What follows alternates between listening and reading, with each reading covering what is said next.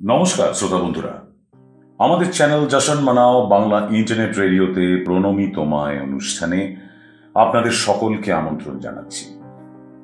যশন মানাও Bangla internet রেডিওর পক্ষ থেকে আমরা আজ শ্রদ্ধা জানাব, প্রণাম নিবেদন করব কাজী নজরুল ইসলামকে। এই প্রসঙ্গে আপনাদের জানিয়ে রাখি যে আগামী শনিবার উনত্রিশে অগস্ট দু হাজার কুড়ি কাজী নজরুল ইসলামের চুয়াল্লিশতম মৃত্যুবার্ষিকী উপলক্ষে যশন মানাও বাংলা ইন্টারনেট রেডিও আয়োজন করেছে শ্রদ্ধাঞ্জলি অনুষ্ঠান। সকল শ্রোতা বন্ধুকে অনুরোধ, আপনারা উনত্রিশে অগস্ট দু হাজার কুড়িতে এই শ্রদ্ধাঞ্জলি অনুষ্ঠান নিশ্চয়ই শুনবেন। কাজী নজরুল ইসলাম আঠেরোশো নিরানব্বই সালের চব্বিশে মে আসানসোলের কাছে চুরুলিয়া গ্রামে জন্মগ্রহণ করেন। তিনি ছিলেন কবি, লেখক এবং সঙ্গীতজ্ঞ। তিনি বাংলাদেশের জাতীয় কবি। তিনি জনসাধারণের কাছে নজরুল নামেই বেশি পরিচিত। তিনি সারা জীবন বহু কবিতা ও গান রচনা করেছিলেন যেসব রচনার মূল বিষয় ঈশ্বরের কাছে সমর্পণ এবং অন্যায়ের বিরুদ্ধে প্রতিবাদ।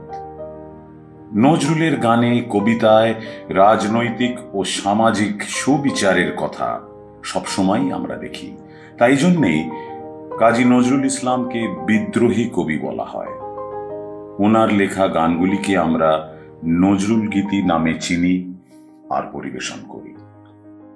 নজরুল জন্মগ্রহণ করেছিলেন এক বাঙালি মুসলমান কাজী পরিবারে। তিনি ধর্মীয় শিক্ষা গ্রহণ করেন এবং অল্প বয়সেই তিনি স্থানীয় একটি মসজিদে মুয়াজ্জিন হিসেবে কাজ করেন। একটি গ্রামীণ থিয়েটার দল লেটোর দলে থাকার সময় তিনি কবিতা, নাটক ও সাহিত্য সম্বন্ধে জ্ঞান লাভ করেন। উনিশশো সতেরো সালে তিনি ব্রিটিশ ভারতীয় সেনাদল অর্থাৎ ব্রিটিশ ইন্ডিয়ান আর্মিতে যোগদান করেন। আর প্রথম বিশ্বযুদ্ধর সময় তিনি ব্রিটিশ ইন্ডিয়ান আর্মির হয়ে মধ্যপ্রাচ্যে মেসোপটেমিয়ার অভিযানে ছিলেন। এরপরে কাজী নজরুল ইসলাম সাংবাদিক হিসেবে কলকাতাতে নিজেকে প্রতিষ্ঠিত করেন। ওনার প্রতিটি কবিতায় ব্রিটিশ শাসনের সমালোচনা এবং বিপ্লবের আহ্বান আমরা সকলেই পাই। নজরুলের রচনা বিদ্রোহী, ভাঙা গান এবং তার পত্রিকা ধূমকেতুতে আমরা বিপ্লব ও প্রতিবাদের ভাষা পাই। ভারতবর্ষের স্বাধীনতা যুদ্ধে তার জাতীয়তাবাদী কর্মের ফলে নজরুলকে বহুবার কারাবরণ করতে হয়েছে।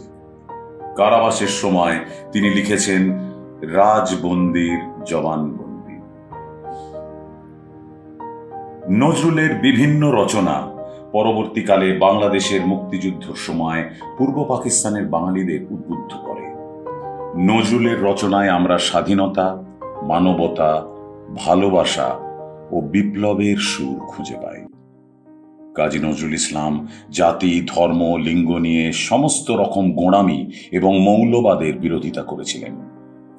কবিতা ও গান ছাড়াও নজরুল ছোট গল্প, উপন্যাস ও প্রবন্ধ রচনা করেছিলেন।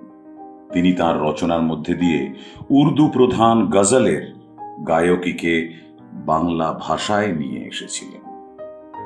কাজী নজরুল ইসলাম তার লেখায় বাংলা ভাষার সঙ্গে আরবি ও ফার্সি ভাষার মিশ্রণ ঘটান এবং অসাধারণ রচনা সৃষ্টি করেন। নজরুল তার জীবনে চার হাজারেরও বেশি গান রচনা ও সুরারোপিত করেন। তার মধ্যে অনেক গানই এইচ এমভি ও গ্রামোফোনে রেকর্ড করা হয়েছে। উনিশশো বিয়াল্লিশ সালে তেতাল্লিশ বছর বয়সে হঠাৎই তিনি এক অজানা অসুখে আক্রান্ত হন।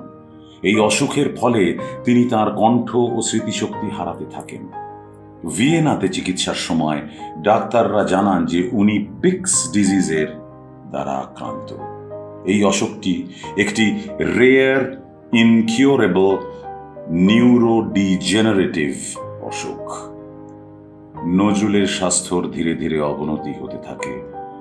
এবং তিনি ভারতবর্ষেই একাকী থাকতে শুরু করেন। তাকে বেশ কয়েক বছর রাঁচির সাইকিয়াট্রিক হসপিটালেও থাকতে হয়েছিল।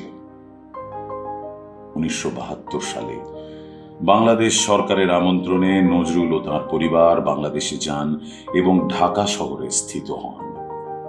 বাংলাদেশ সরকার কাজী নজরুল ইসলামকে গণপ্রজাতন্ত্রী বাংলাদেশের নাগরিকত্ব প্রদান করেন। এর চার বছর পরে বাংলাদেশেই উনিশশো ছিয়াত্তর সালে উনত্রিশে অগস্ট কাজী নজরুল ইসলাম শেষ নিঃশ্বাস ত্যাগ করেন। যশন মানাও বাংলা ইন্টারনেট রেডিওর পক্ষ থেকে আমরা কাজী নজরুল ইসলামকে সশ্রদ্ধ প্রণাম জানাই। শ্রোতা বন্ধুরা, আমাদের চ্যানেল যশন মানাও বাংলা ইন্টারনেট রেডিওতে প্রণমী তোমায় অনুষ্ঠান আজকের মতো এখানেই শেষ করছি।